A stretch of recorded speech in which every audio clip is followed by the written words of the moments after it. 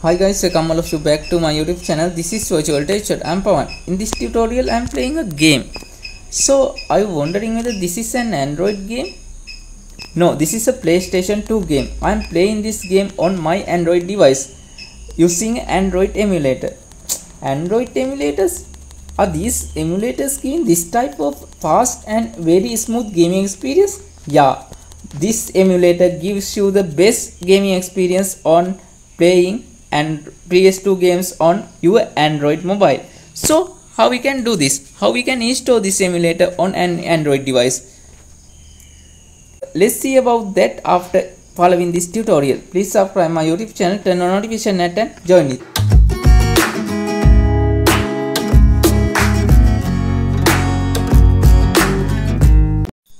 Okay guys firstly you need to install this AetherSX2 emulator on your android mobile. You can easily download and install this emulator to your mobile by searching on the play store like this. You can see i have already installed this emulator on my mobile.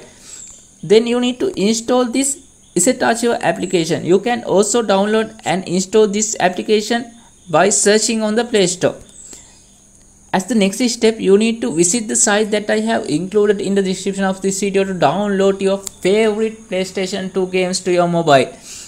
Then you will be able to get this type of a zip. Now you need to just click on this zip file and click on extract to archive name option. Then it will gives you this folder with the ISO file.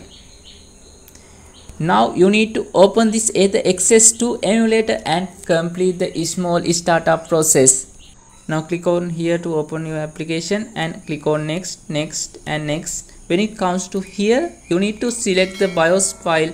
You can download this bios file and extract to your device by uh, using the link that i have included in the description of this video.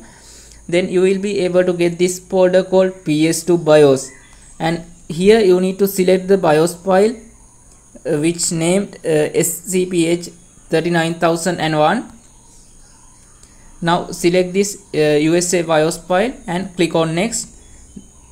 When it comes to here you need to select the directory that you have uh, extracted uh, your favorite game. Now I'm selecting this folder and click on allow and click on next and finish. Now here you can see your favorite games are installed on your mobile. Let's try to play this game and see how is the gaming experience of this emulator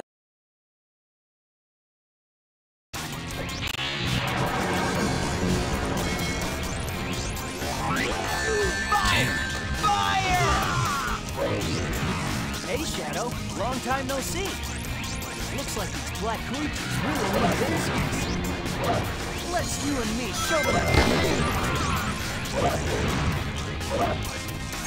Number of enemies defeated is in the upper right-hand corner of the screen. Let's go get them off!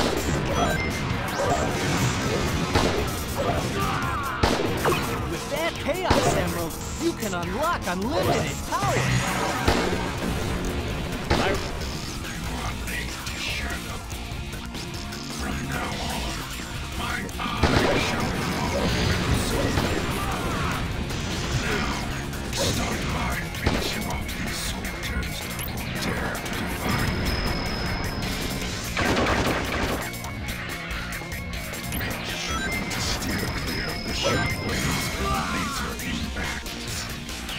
No matter how many, just